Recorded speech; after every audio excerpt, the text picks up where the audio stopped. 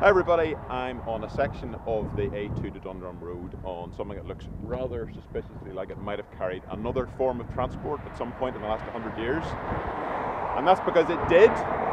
So today we're going to what the railway posters called the Queen of Irish Watering Places Newcastle. For 11 years, from 1858, Downpatrick was the southern terminus of the Belfast and County Down Railway, until in 1869 the prosaically named Downpatrick, Dundrum and Newcastle Railway then extended the line to the small seaside resort in the shadow of the Mourne Mountains at a cost of £39,000, roughly £4.5 million today. And as with many ventures in Victorian society, the railway was instrumental in development and an active catalyst rather than a passive service transforming Newcastle from a sleepy seaside village, although with obvious tourist potential thanks to its position at the foot of the Mournes, to a bustling destination for the well heeled members of Victorian society. The original station was a small affair and was roughly where these shops sit today, lying along the railway as opposed to being perpendicular to it whereas the familiar clock tower building that we know today is actually the second station, opened in 1906. It was much grander and was designed as the terminus of not one, but two lines, as I'll explain in a bit. Mind you, the new station's design wasn't to everyone's taste. Some thought the clock tower incongruous, like it had been borrowed from a much bigger building, and the portico at the front, now long gone, didn't really serve its intended purpose as the jaunting cars waiting outside couldn't use it. These days, although its current occupant, Lidl, has been trying to escape for years to airier accommodation, the building was recently refurbished, with the exception of the scruffier east wing, which presumably belongs to someone else. Inside, sadly, the once cosmopolitan concourse has all been stripped away, leaving only this original drinking fountain in place. It incidentally asks patrons to keep the pavement dry. Back outside, the supermarket car park is where the trains arrived.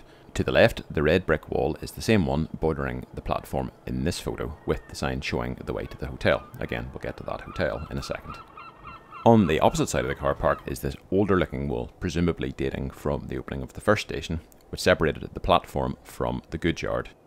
And this, in later days, was the rough location for the Railway Plaza, a refreshment stop for those who didn't fancy scaling the mountains.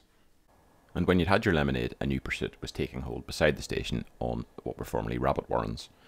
Although golf, or at least a basic form of it, had been played in this site for a while, in 1889 a group of gentlemen made use of the new railway line to form the Royal County Down Golf Club, even getting old Tom Morris over from St Andrews to help model an enjoyable and challenging links course. By this time, the BCDR had bought out the Downpatrick, Dundrum and Newcastle Railway, and not only did they build the clubhouse, they soon started laying on the Golfers Express, a Saturday only service that whisked its plus four clad passengers from Queen's Quay to Newcastle without the nuisance of stopping at any intermediate station, although its occasional arrival with level crossing gates stuck to the front of the engine suggests that this arrangement hadn't been well communicated. The train itself was literally fit for royalty. Carriage 153 was built in 1897 for Queen Victoria's Diamond Jubilee, and although the Queen herself never used it, her son, Edward VII, and grandson, the future George V, did when they visited Ireland. And when not on duty, the carriage was used as a first class carriage for Royal County Down members only, and is currently under the care of the Downpatrick and County Down Railway awaiting restoration. But what about those golfers who didn't fancy the return trip to Belfast?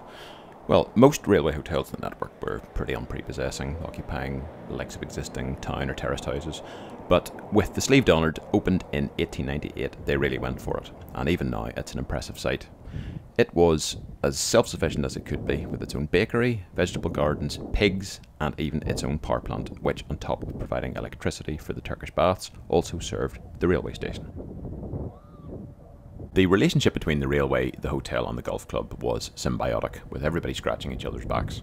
But a relationship that was perhaps less beneficial for the BCDR was whenever it was arm wrestled into accepting an intruder on its patch, the much larger Great Northern Railway of Ireland.